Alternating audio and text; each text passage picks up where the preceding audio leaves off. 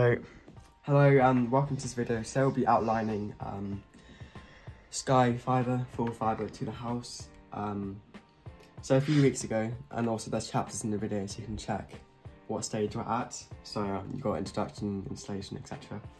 So recently, a few weeks ago, we did notice there were some major road works, some fibre probably being installed, some Openreach vans, etc. Um, and then a few days ago, we got a letter, which I'll just pop what it looks like, sort of a leaflet from OpenReach saying that there's now full fibre available to install your house. So we called up Sky, and currently the package that we're on is the super fast with the boost, which makes it 75 megabytes per second. So at this time, it's £34.50. Um, and then we're gonna go to the Ultra Fast Plus, which is actually cheaper for some reason, um, at £34 currently. And this is fibre, so everything underneath full fibre is gonna be fibre, probably. That's 500 megabytes per second. Now, although the main advantage of fibre might seem like it's the speed, how some people, for example, larger families, the main advantage is going to be um, your bandwidth will be higher, so it'll be able to handle more devices. Because um, normally, if there's too many devices on that one copper cable, then the speed's going to get slower. So the government has pledged to sort of um, roll out fibre to everywhere. We are in quite a rural area, so it's surprising that we got fibre. Um, but it's great, so. Currently there aren't many people home, so we only have around 40 devices well only, that's still quite a lot. But um, when people are home, there's going to be more than this, upwards of 50.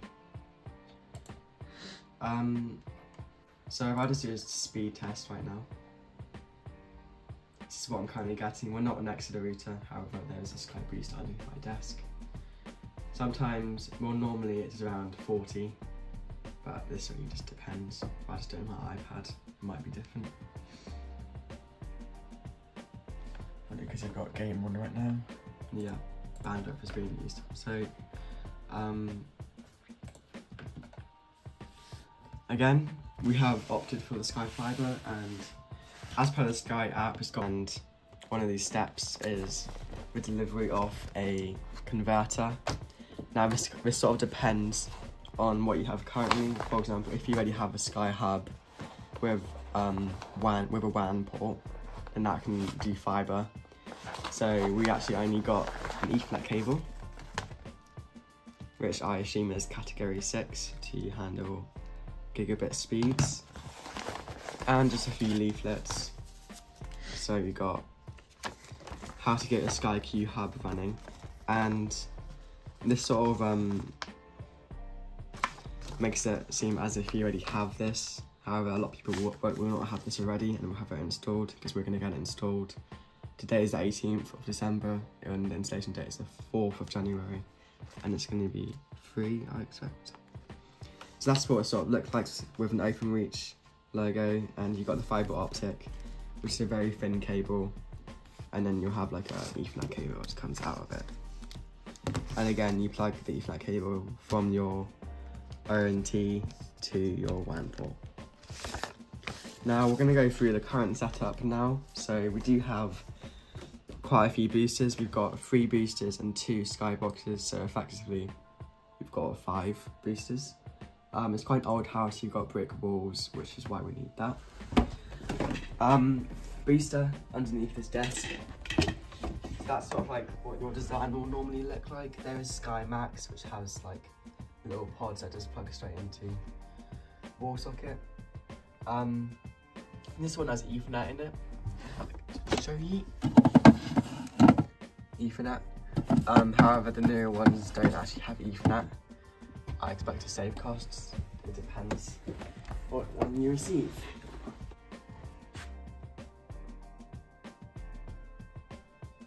So that's what we're getting right now, pretty high. And we'll wait for that upload, I suppose. Upload's normally around 10 to 15, 16.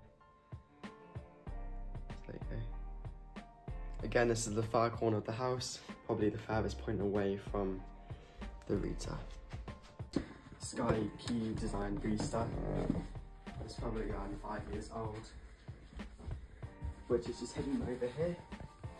And the main job for this one is to transmit the signal to the one in the outbuilding. Then we also have, this is the main hub, this is the hub 4.2. We actually made a video on us getting this hub, which was um, three years ago now. We were one of the first people to receive it. So here it is, it looks a bit like the booster. And you've got four ethernet ports and this one's the WA, WAN port. And if you have a telephone landline still you can plug that into there. And you've also got this copper cable so this is what provides internet right now which is sort of just like legacy what most homes have and that's this telephone cable which is existing. And it's quite slow. And I'll just do a quick speed test. This Mac is connected directly to um, the router and we're getting 70 which is pretty good. Getting our package is 75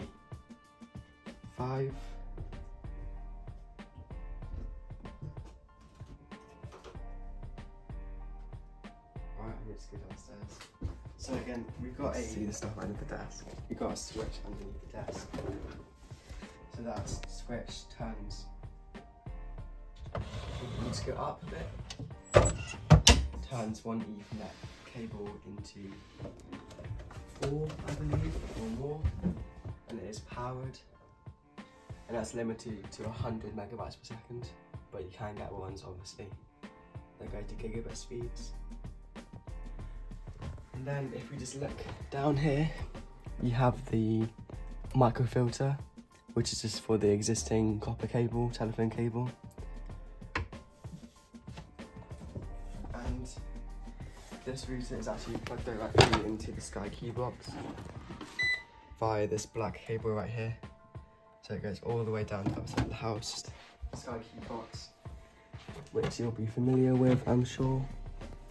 And you can actually see, this is the Ethernet port. I'm about to take the camera.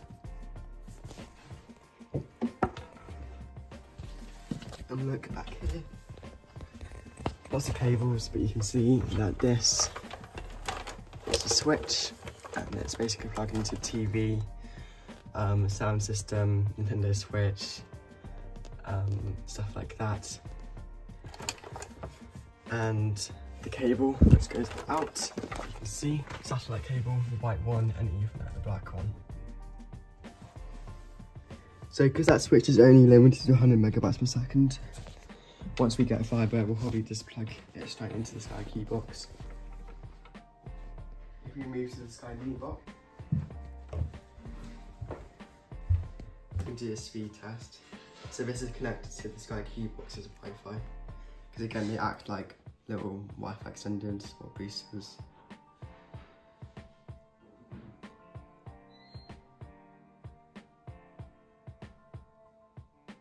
And then in theory, if we go back to Sky Q box, this would read the same speed as the router because it is plugged in directly. Um, what am I doing?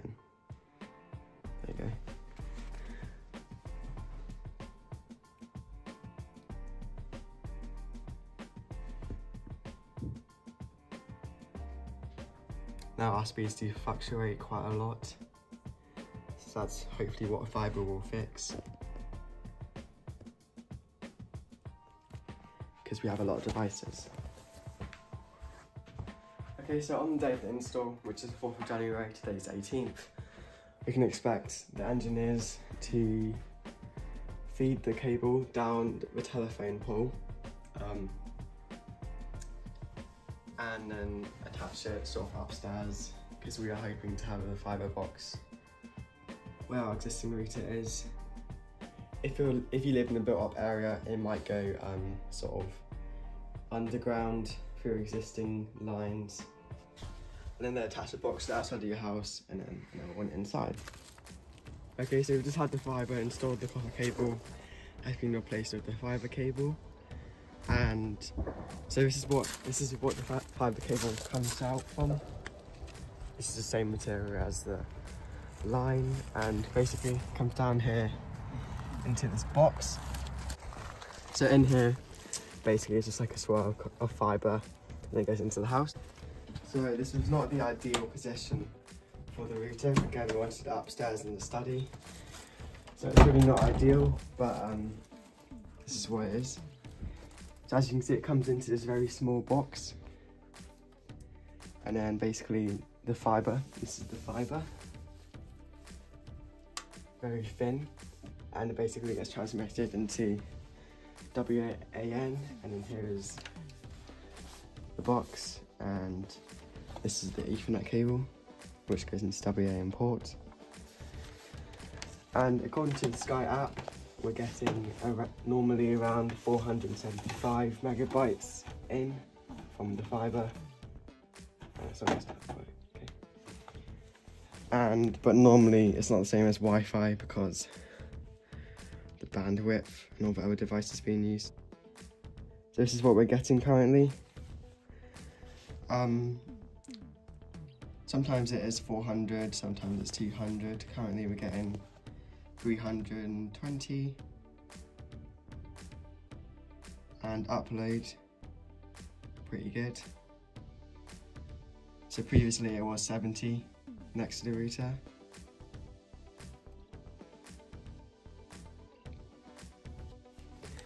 Okay and we'll just explain our setup. So obviously the router's there. And there's no Ethernet connection currently to the Sky box However, if we were to look inside, we are still going to utilise the Ethernet cable, which goes from here to where the router previously was, which we'll show you in a second, but we'll just do a quick speed test. Should be getting around 200.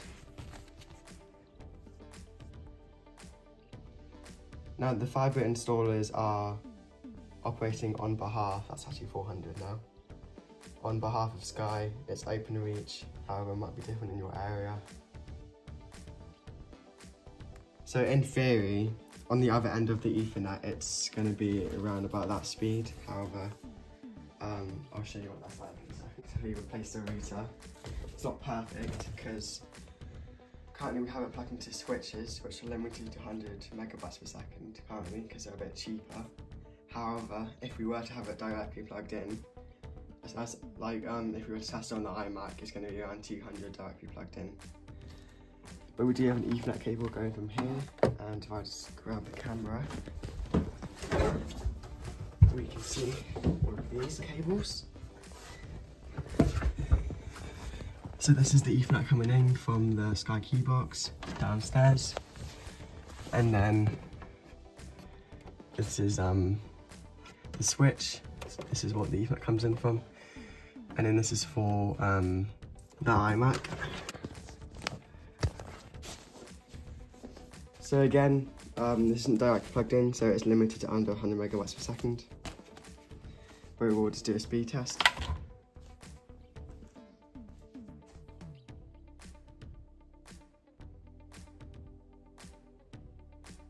So that's pretty good. And when it is directly plugged in, you're getting around 110 because it normally halves the speed um, for whatever reason. Okay, so underneath this desk, as you can see, so we have pretty good signal all around the house.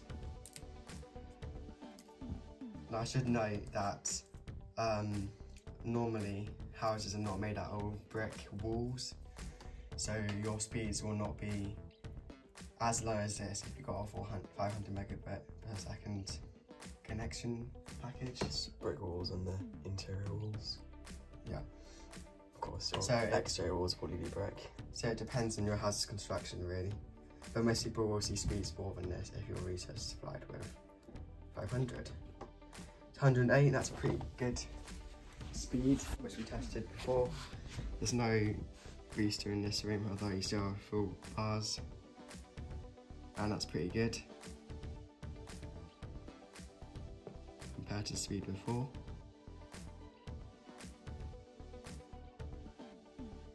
So it does vary quite a lot. Obviously, the time of day right now is actually peak internet traffic.